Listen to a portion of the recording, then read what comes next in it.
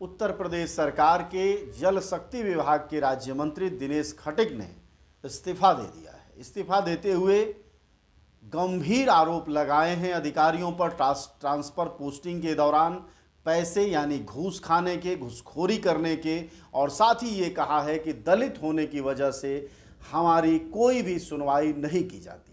बकायदा दिनेश खटिक ने पत्र लिखा है गृह मंत्री अमित शाह को और संबोधित किया है राष्ट्रीय अध्यक्ष भाजपा जे पी नड्डा को और साथ ही प्रधानमंत्री नरेंद्र मोदी को भी और बकायदा लिखा है कि दलित होने के कारण मुझे मेरी न कोई सुनवाई होती है, न जानकारी दी जाती है, सिर्फ़ गाड़ी दे दी गई है और उन्होंने अंत में अफसोस भी जताया है कि क्या सिर्फ़ गाड़ी देना ही एक मंत्री के लिए काफ़ी होता है? आइए हम उनके पत्र का एक हिस्सा आपको पढ़कर सुनाते हैं कि एक दलित मंत्री होने के नाते उनको योगी सरकार में कितनी मुश्किलें और कष्ट झेलने पड़े हैं।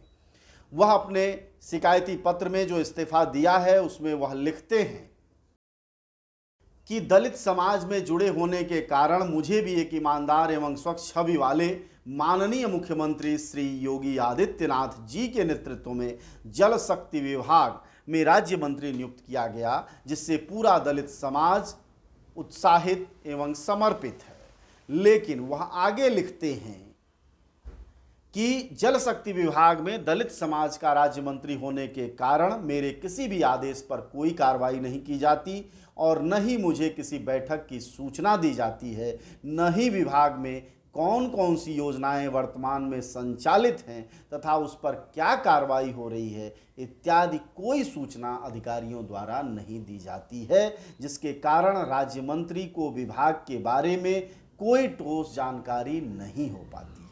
यह बकायदा योगी सरकार के जल शक्ति राज्य मंत्री दिनेश खटिक ने यह पत्र लिखा है। प्रधानमंत्री मोदी को संबोधित किया है। भाजपा अध्यक्ष जेपी नड्डा को और गृह मंत्री अमित शाह को। इससे बहुत साफ़ हो रहा है कि ज़ीरो टॉलरेंस की जो बात योगी आदित्यनाथ कहते हैं, वह कितनी सतही और ऊपरी होती जा रही है। उनकी ही सरकार में नीचे से ज़मीन खसकती जा रही है बाबा के, और बाबा को अंदाज़ा ही नहीं है। लगता है माला फेरने में ज़्यादा व्यस्त हैं, लेकिन अब आइए, आगे आपको दिखाते हैं कि वह ट्रांसफ़र पोस्टिंग पर किस तरह के बड़े आरोप लगाते हैं।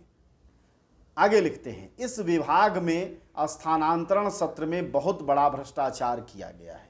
यह पत्र, जैसा कि हमने आपको बताया है, यह पत्र दिनेश खटिक का लिखा हुआ है, जो कि राज्य मंत्री रहे योगी आदित्यनाथ की सरकार में। इस विभाग में स्थानांतरण सत्र में बहुत बड़ा भ्रष्टाचार किया गया है। श्री योगी आदित्यनाथ, माननीय मुख्यमंत्री जी के ज़ीरो टॉलरेंस नीति को ध्यान में रखते हुए मेरे संज्ञान में आने पर इस विभाग में स्थानांतरण सत्र 22-23 में किए गए अधिकारियों के स्थानांतरण से संबंधित सूचना मेरे द्वारा अपने पत्र संख्या 309 222 दिनांक 9 सात 2022 को मांगी गई तो उसकी भी सूचना अभी तक नहीं दी गई। इतना ही नहीं, अब आइए, सेक्रेटरी साहब का क्या रवैया है मंत्री को लेकर, वह भी पढ़िए। कई दिनों बाद विभागाध्यक्ष से दूरभाष पर वार्ता करके सूचना हेतु कहा गया तब भी उन्होंने आज तक कोई सूचना उपलब्ध नहीं कराई। प्रमुख सचिव सिंचाई श्री अनिल गर्ग का को उक्त स्थिति से अवगत कराना चाहा तो उन्होंने बिना मेरी पूरी बात सुने ही टेलीफोन काट दिए और वह भी मेरी बात को अनसुना कर दिए, जो एक जनप्रतिनिधि का बहुत बड़ा अपमान है।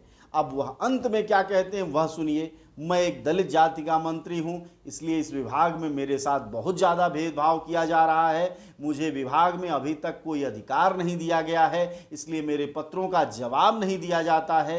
मेरे द्वारा लिखे गए पत्रों पर कोई कार्रवाई नहीं की जाती है। इस विभाग में नमामि गंगे योजना के अंदर भी बहुत बड़ा भ्रष्टाचार फैला हुआ है, जो ग्राउंड पर जाने पर पता चलता है। और जब मैं कोई शिकायत किसी अधिकारी के विरुद्ध करता हूँ तो उस पर भी कोई कार्रवाई नहीं की जाती है। चाहे तो इसकी किसी एजेंसी से जाँच भी कराई जा सकती है। यह बात कोई आम आदमी, कोई आईटीआई कार्यकर्ता, कोई पत्रकार, कोई विरोधी दल का नेता नहीं कर रहा है। आप ध्यान रखिए, यह शिकायत दिनेश खटिक, जो राज्य मंत्री जल शक्ति विभाग, उत्तर प्रदेश सरकार, योगी आदित्यनाथ के नेतृत्व में हैं। इससे बहुत साफ़ है कि भ्रष्टाचार की परतें किस तरह से तह दर तह बैठी हुई हैं योगी सरकार के भीतर, लेकिन ऊपर चिकनाई और प्रचार का आलम ऐसा है कि मीडिया का बड़ा हिस्सा इस गंभीर प्रश्न को नहीं उठा रहा है। आपको बताया देते हैं कि दिनेश खटिक ने दो महत्वपूर्ण सवाल इस पत्र में उठाए हैं, जो हम आपको बार बार यह पत्र दिखा रहे हैं।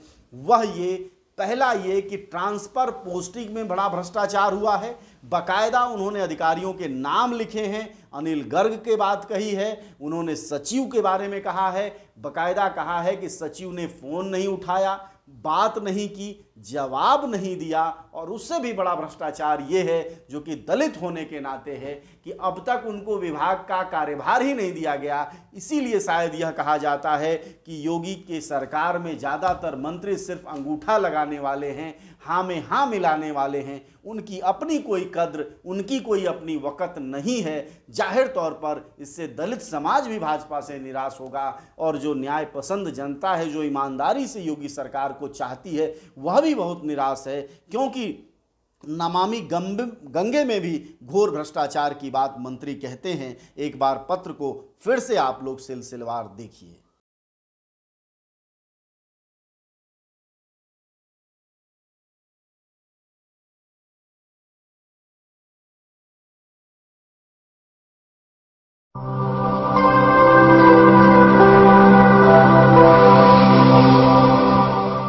जन ज्वार जनता की